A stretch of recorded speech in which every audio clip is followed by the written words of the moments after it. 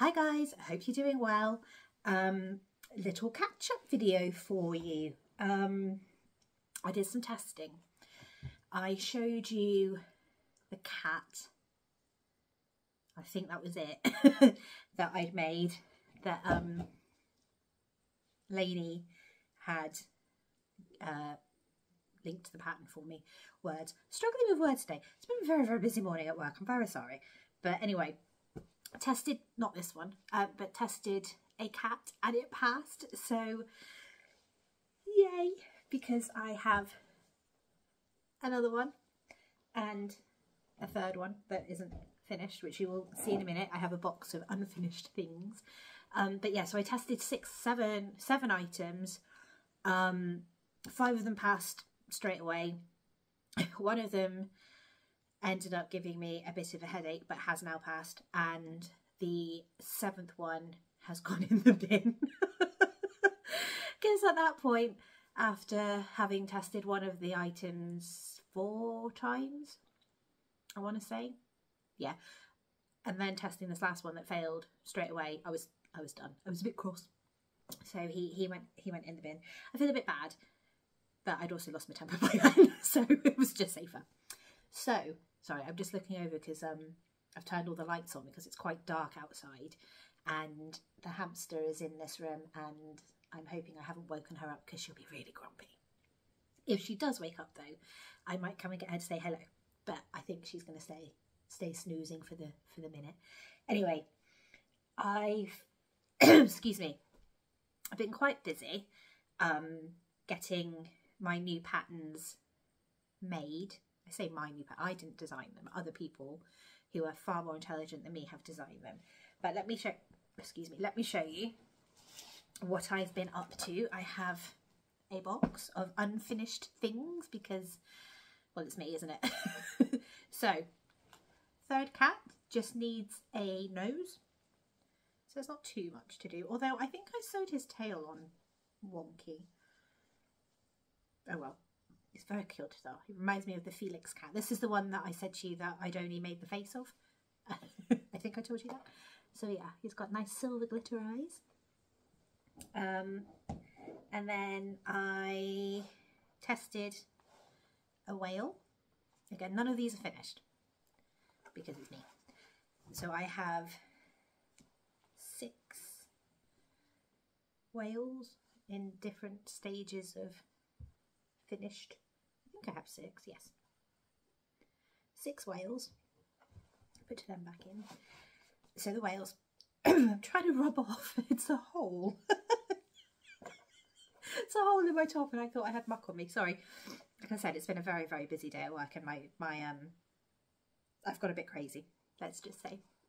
So yeah, six whales and then I made the duck in a frog hat, had to think then and he passed. So I've made six of those. Again, in various stages of completeness. Um, and also what I want to do is I actually want to make some without the hat. So they're just the duck.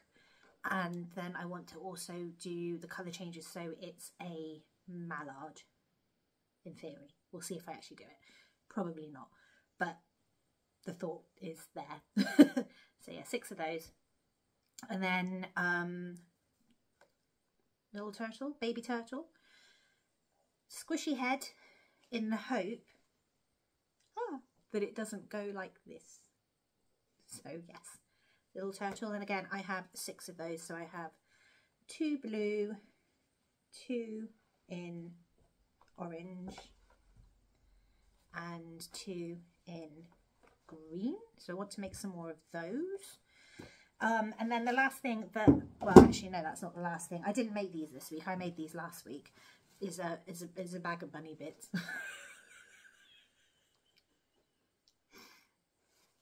I I get to this point and then I look at it and go, oh, that looks like quite a lot of sewing. I'll save it for another day. But I don't have any bunnies, so I really should actually do that but I have Thursday off. So I might, I've got tomorrow off as well, although my son has an appointment in the morning. I might do making tomorrow and sewing on Thursday. I might. We'll see. I might be there on the morning of going, oh my god, I've got to put all the bunny bits on. But we'll see. And then the last thing that I made is the thing that kept failing. So this is the original. As you can see, has been tortured. Um, whoops, daisy. There's a hole here. Um, he had a leaf. He had a little curly leaf. And the curly leaf passed the initial testing. And then after he'd been washed, when I weight tested it again, it ripped off. So he now doesn't have a leaf. So I thought that thought I saw something out the corner of my eye, but I didn't. I'm just going nuts. And then tentacles. Doesn't have all his tentacles anymore because half of them snapped during weight testing. And the ones that didn't snap, I realised had failed because I don't know if I can show you now. Basically, this is something you you crochet the tentacles into front loop only, front loop only. So it's all crocheted in like there's no sew. I'm trying to think of words.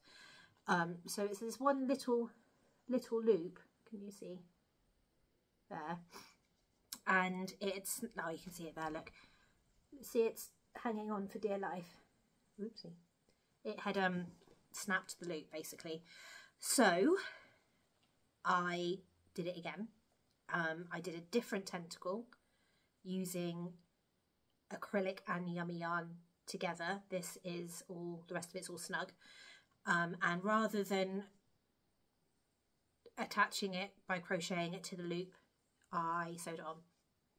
Yeah, and that passed. So this is the second version. I don't know if I like it. I don't know if it needs more tentacles. It's only got seven. It's a jellyfish, not an octopus. I don't know how many tentacles octopus jellyfish are supposed to have. Um, what do you think? I think it just looks a bit stiff, whereas this one is obviously all like floaty and lovely. And these are, you know, I love these tentacles. But after doing four different designs of tentacle, oh, she is up, put in separate ways and different ways, sorry. um, I was fed up and that design worked, so I went with it. I might go and try this again, but every single method that I tried, the tentacle snapped or the stitch snapped. And this was the only one that worked. I'm going to go get her. You can say hello second. So this is Oreo, my son's hamster. She's a very, very sweet little girl, aren't you? Just giving her some sunflower seeds if she looks a bit lopsided. Um, it's the middle of the day, I know, I'm sorry. But she just so cute, I wanted you to see her. So she is um, 18 months old. Uh, she's getting a little bit lethargic in her uh, middle age. Well, actually, you're about 50 in how many years, aren't you? But she's lovely. She's very, very nice. Bit of an escape artist, so we have had to uh, rescue her from odd places. But she's a good girl. She'll put you home. She'll let you go back to sleep. You're going to show everybody your little noses and say hi. Say hello. I'm going to put home. I've completely lost my train of thought now. She's staring at me like, what's going on? Why are you talking to yourself in the middle of the day? well, why not? So yeah, so um, yes, this guy. Let me know what you think. I love, love, love, love, love the eyes, um, which is actually something else that I tested. Um, I Oh, I tested my spider. That was the other thing. This guy, but I made him in black and he had safety eyes. I'm sure I showed you him last time. I'm sure I did. safety eyes. So, I bought 80, sorry, looking at hamster, 18 millimeter Mucunia from Amazon and 12 millimeters because they do the glitter eyes and they have all the relative certificates. The 12 millimeters don't stay in anything, or at least I can't get them to. So I tested them on the spider and they popped straight out. And I thought, oh, well, that's because Snug's really thick. So I couldn't pop them on far enough. That was my theory.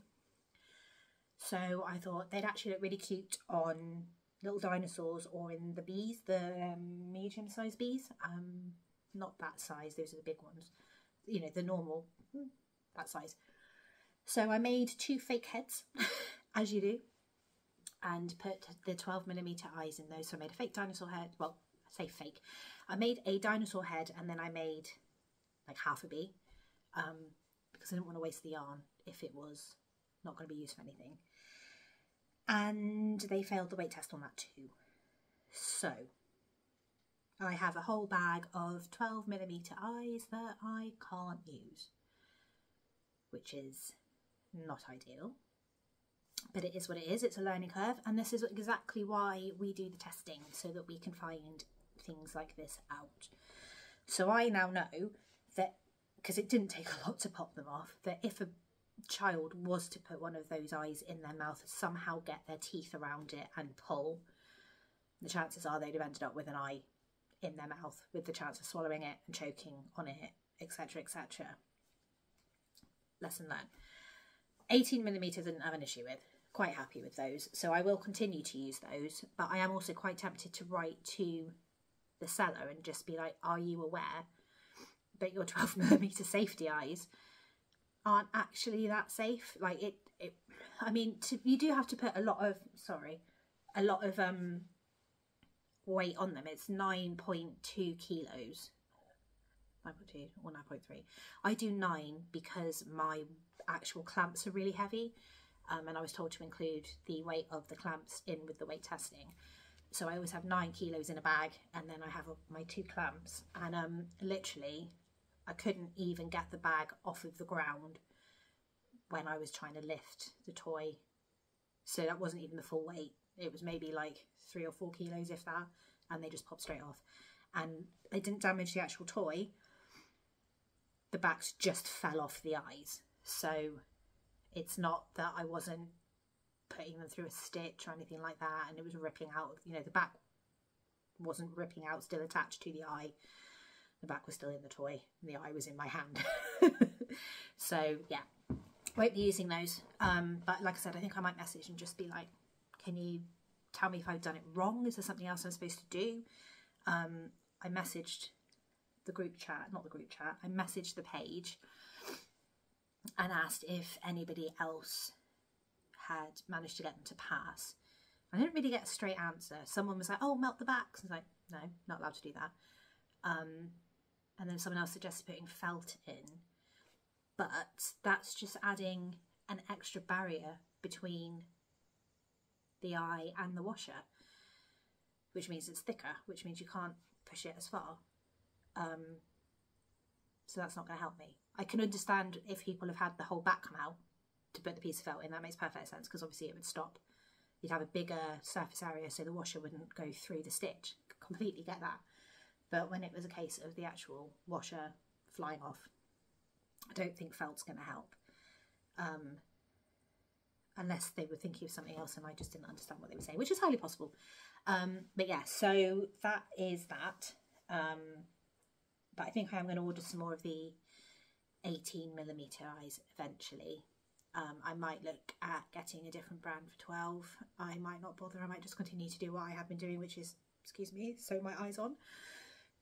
As much as I hate sewing. But it would have been nice to have it for the rabbits and the cows. Because the rabbits and the cows have crocheted eyes. So I actually make the eyeball and then put the highlight and then sew it to the toy. And that takes ages because it's finicky. And I have to put my toys together before I put the eyes on because I don't trust myself to put them in the right place. Um, so yeah, so it would have been nice for that, but never mind. It is what it is. Um, yeah. So plans. Um, I want to make another cat because I just love them. I don't even know if I want to sell them. I just want to have them. And obviously, um, if I was at the same market as Lady, then I wouldn't take them with me because that's her speciality and I wouldn't want to step on her toes. And she's absolutely amazing at what she does. And I still want that cat. Speaking of, she has her own YouTube channel, um, Penny Pot Crochet. Go check her out. Her first video went up last week and it's brilliant and really made me laugh out loud more than once. She's hilarious. Um, but yeah, go check her out. She's so talented, but do go and check her out. I will link it below. Um, so yeah, like I said, I wouldn't, I wouldn't ever take cats to the same show that she was at because that's not fair. Um, I've got craft fair on Saturday, so I might, might take them. I don't know. It feels a bit wrong. I don't know. We'll see. See how I'm. um. Sorry, changing weather. See how I feel. But I want to get some more of the whales and the little turtles done. I'm going to attempt to try and do some chicks without hats and maybe some mallards. I need to do some mermaids because I don't have any. Sold all of those. Yay. Um, that is EA. I just don't particularly enjoy making them. No, that's not fair. I don't enjoy sewing the head on because actually not the head even, the hair. Really tired. Um, the mermaid itself is um, no so. so you make the fins, then the tail. Well, you make the arms first. Sorry, make the arms first. Make the fins. Make the tail. Make the body. Attach the arms, and then make the head. And then it comes with like a wig cap, which is the bit that is a bit of a pain. Um, there's two different ways to do it. There's one way that I do when it has the buns. So you have to make the individual buns and then attach that to the wig cap and then sew that all on. Um, or you can make strands of hair, which obviously I don't think is as safe because it's more of a fire risk, even though everything is fire tested. And I just think it's more opportunity for some small person to pull it apart. Um, and basically, basically, I don't want to weight test the hair. So obviously, I'll weight test the buns, but I don't want to weight test individual strands of hair um, I say individual, it's like little, little crocheted strips, but no. So I do the buns. So I'm probably creating more work for myself in the long run, but feel safer. So I do that. So yeah, so I want to make some mermaids, which I am going to try and force myself to sit down and do tomorrow, even if I just get the bits done. Like I said, have like a crochet day tomorrow and a sewing day on Thursday. Um, I don't know whether to make any more Halloween style stuff. I would like to get another spider done so that I have two. Um, I think that would be quite nice. And I would like to get another jellyfish done in theory. I've got three markets in October. And the last one is literally the week of Halloween, like the week before. Yeah, the week before, not the week of so that could be you know good for people looking for last minute decorations or anything. But I don't want to be stuck with a load of Halloween things and then have to store them for a year because I mean I could just take them randomly. I mean I'd buy Halloween themed stuff all year round so there's that. Um, so I'll see how I feel on that front so I've got four ghosts in witches' hats. I've got four frogs in witches' hats. I've got four grumpy pumpkins, one spider and one jellyfish, and one zombie chicken. so I might make another zombie chicken. Probably won't. I say all this. So mermaids, at least two. Jellyfish, spider, cat, zombie chicken, ducks, and whales. Seven things. We'll see. We'll see. It's not completely and utterly unrealistic. It's not. I can do it. I can do it. I just need to find the time and I need to not go mad like I did yesterday and decide to make 10 things in a day because my finger is sore today and I realise that I am damaging this part of my finger. It's numb. uh, it's weird. I think it's it's only ever since I started using the um the snug. I don't know. I mean, like I said, I, I've always said I've got quite a tight tension, so I don't know if I'm just like literally cutting the circulation off to my finger. I don't know. But um yeah, that is that is the plan. And then eventually I'd like to make this guy, I'm just gonna grab him. This guy. I can't remember if I showed you him before, but I'd like to make one of these guys. His hat comes off. If I make one to test, I will probably sew it on. Um, I think there might be, yeah, they are. They're the same size eyes. These are from Temu. Um, before I knew all the, all the safety laws and everything. These don't budge. They do not budge, but they're not chemically compliant as far as I know, which is a shame because, like I said, they are. they're not going anywhere. The um, the backs are like the domed, the domed backs that you literally need to put a special tool on the back of to even get them on. So there's no way that they're coming off. The backs to the menu, menu, menu I can't even remember. The Amazon eyes are um, flat. So yeah, but obviously I wouldn't be able to use different backs because not tested.